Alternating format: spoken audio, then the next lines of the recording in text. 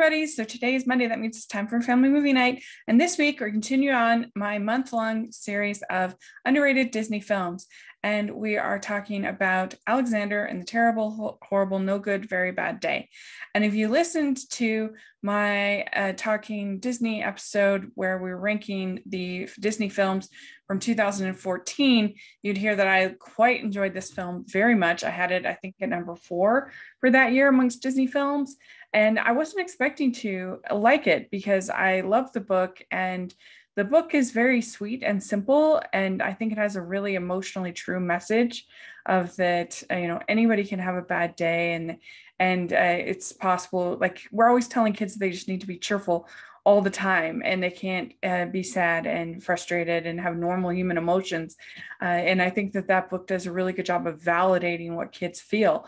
And so when i saw the trailer i thought oh they're just turning this sweet simple emotionally true story into this into this slapstick comedy and i was annoyed but then I actually saw the movie and I thought that it was really funny and it surprised me.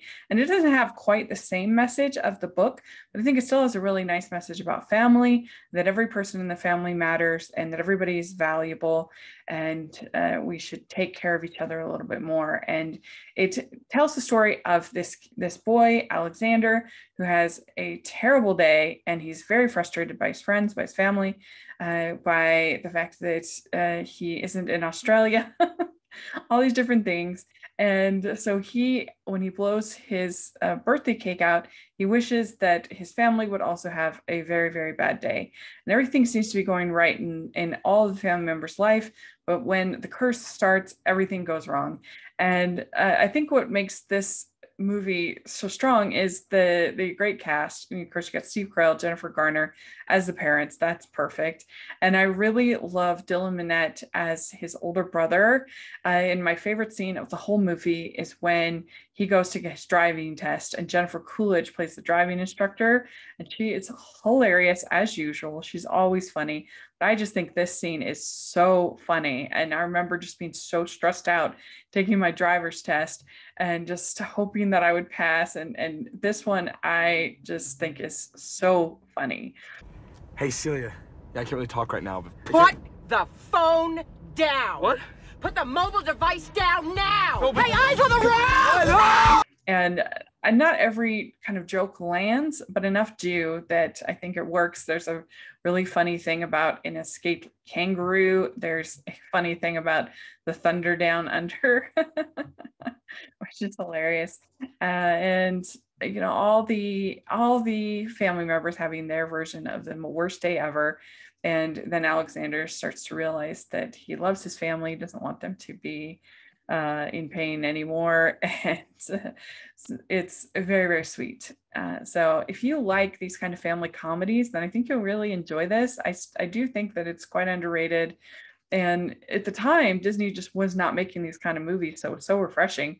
Now they're making some more of them, like Timmy Failure. Uh, but we still could use even more. I love family comedies. I love watching comedies with my family. And uh, I think we need more live action family comedies like Alexander and the Terrible, Horrible, No Good, Very Bad Day. They don't all need to have such long titles though. but this is a funny movie. It's a sweet movie. It's be a great one to watch all together and have some nice discussions for your family home evening about uh, being honest and working together and valuing everybody's experience. Uh, so I think that would be a great, great time uh, as a family. Let me know what you think of this one. Do you like it, not like it? Do you agree that it's underrated, or maybe you didn't like it at all? I would love to hear your thoughts in the comments section. Uh, please like this video. Please subscribe to my channel. I appreciate it so much. And we also have the Patreon group, which helps support do, me doing what I do. And it's only $2 a month to join. And I would just be so grateful. Uh, we also have the merch store, which has hashtag animation junkie shirts. So please take a look at that. And thanks so much, everybody. We'll talk to you later. Bye.